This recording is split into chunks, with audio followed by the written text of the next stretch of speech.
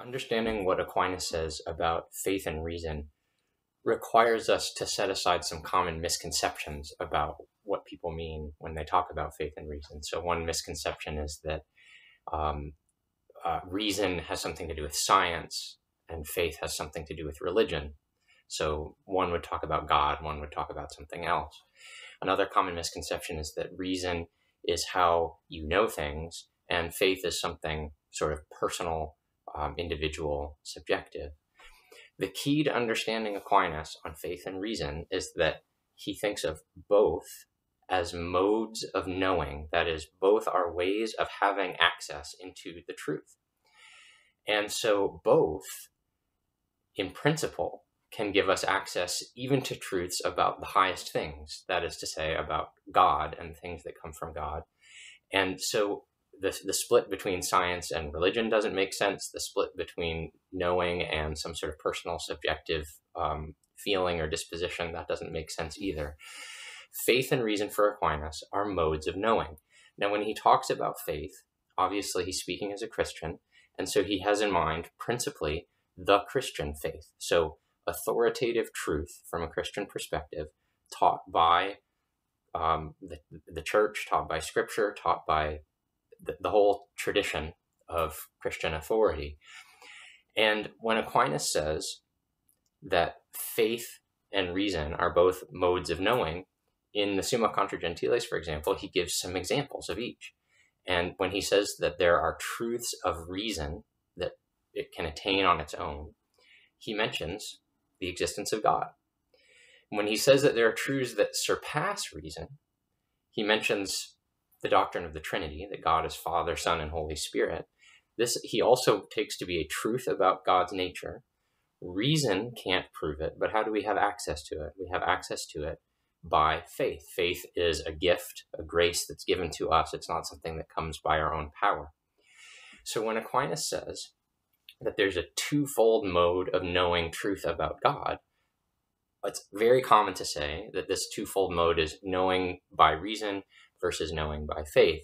Another way to put it, um, very commonly used, is to say that some truths about God are mysteries of faith, things that can only be known by faith. They're beyond reason, they surpass reason's power, so they're mysterious, but they are true, and Christians claim to know them.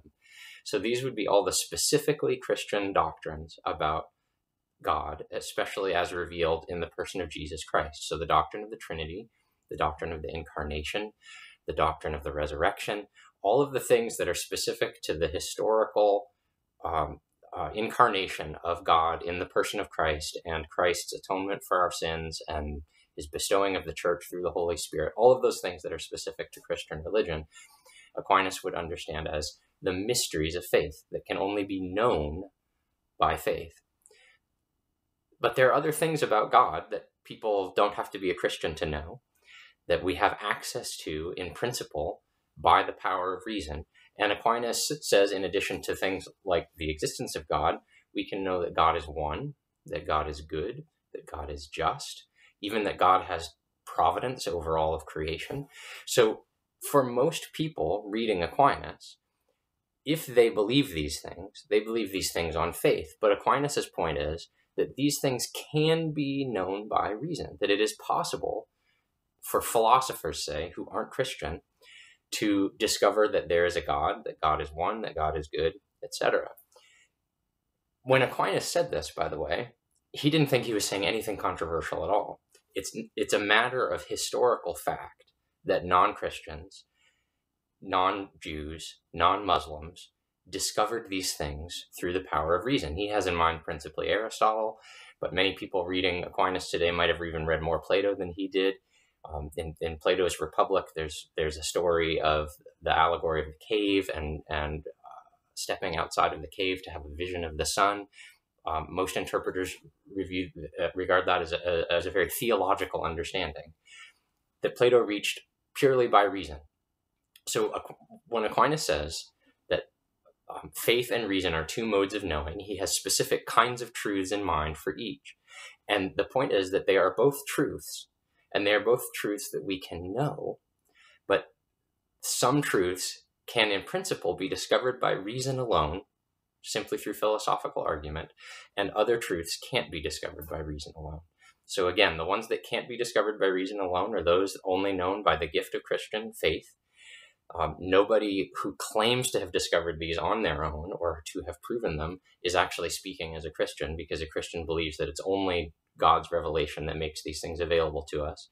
That God is three persons in, in, in one divine substance, that God became man, that, that Jesus died for our sins, that Jesus was resurrected, uh, that, that he um, was um, the, the, the result of, of the, the virgin birth, uh, that, that he sent the Holy Spirit. All of these things, specifically very distinctly Christian doctrines, only known by faith. But there's so much else about God's nature that these presume that are sometimes called the preambles of faith. So, in order to believe that God became man, one has to believe in God. Many people only believe in God by faith, but in principle, and Aquinas knew historically as a matter of fact, many people can believe in God without believing that God became man. So there are preambles of faith, truths about God that are known by reason and these include, once again, that God is good, that God exists, that there is only one God, that God is just. Aquinas actually spends a lot of time discussing all the things that in principle can be known about God through reason alone. So that's a summary of what Aquinas means by faith and reason. They're both modes of knowing, they're both modes of knowing about God, and they um, that their relationship helps us to understand why it is that Aquinas, as a theologian, cares so much about the role of reason in discovering truths about God, and also even in defending truths about God that reason can't prove on its own. So the truths about reason can be demonstrated; they can be they can be positively proven. The truths that are surpass reason that are only known by faith obviously can't be demonstrated or can't be proven. But reason has a, a, a role here in defending these against objections. So Aquinas says in the Summa Contra Gentiles that reason plays a role both in proving the preambles of faith and in defending against objection the mysteries of faith. The mysteries of faith can only be known by reason, but there's even a role for philosophical reason when you hear an objection to a, a distinctively Christian doctrine, Aquinas believes in the um, compat- not just compatibility, but the unity of faith and reason. Truths can't contradict truths. So if we know that Christian faith is true, and someone makes an argument from reason that seems to contradict Christian faith, then we know that there must be a rational problem with that argument, that it must not authentically be an argument that is purely based on reason. So reason has what what we might call an apologetic task. Um, reason can help prove certain things that are known by um, uh, philosophical proof, but reason can also help to defend even the mysteries of faith that can't be proven by reason. So that's a summary of Aquinas on faith and reason, and a summary of why Aquinas thinks that reason has such an important role in the defense of the Christian faith.